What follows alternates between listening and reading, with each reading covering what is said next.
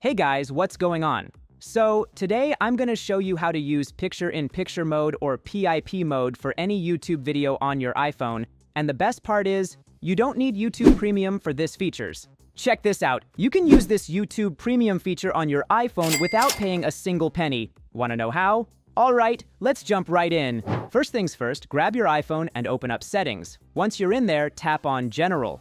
Now scroll down a little until you see Picture-in-Picture. Go ahead and tap on that.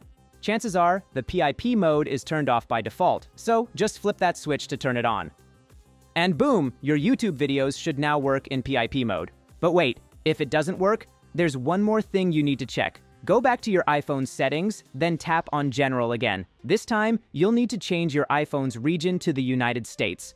Why? Because this PIP feature is technically a YouTube Premium thing, and for some reason, it's only free for US users. So if your region is set to another country, just switch it to the US. Alright, now you're all set.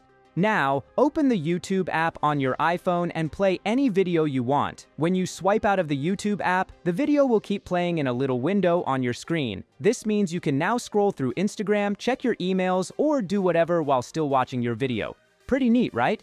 Oh, one more thing. There's a small catch. Sometimes certain videos might not work in PIP mode. I'm not exactly sure why, but it could just be a random glitch. Hopefully, YouTube fixes it in a future update, but there's a quick fix. If you're watching a YouTube video and it's not playing in the background, look for the tagged products link. Just tap on that and boom, the video should start playing in PIP mode. Pretty awesome, right?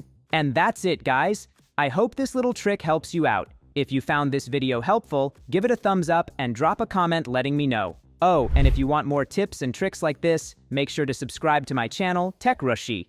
Thanks for watching, and I'll catch you in the next one. Take care and bye.